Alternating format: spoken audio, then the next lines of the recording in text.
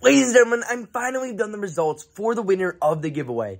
Good Old Gaming Time had the most likes on the comments. I, I, thought there was a few other people who had more likes, but I couldn't find their comments for some reason. So it looks like Gaming Time did win the Good Old giveaway. Props to you, my man. By the way, guys, if you guys do want to do some more giveaways, because I do a lot of giveaways on the channel, make sure, you guys, just make sure to be like, subscribe to the channel, because we will be doing lots of giveaways. We do them in streams, fashion shows, you guys name it. It's super, super fun to be able to do that kind of stuff. And I'm dead serious, guys make sure you guys stick around because we got some good stuff coming on the channel. By the way, guys, a very big thank you guys. We got monetized on the Good Old channel. Thank you guys so much for all the love on that. We're still going through a few things on that and we'll be monetized in the next few days. But uh, honestly, we've definitely come so far on this Good Old channel. Thank you guys so much for all the love and uh, good stuff gaming time. Good stuff for the Good Old win.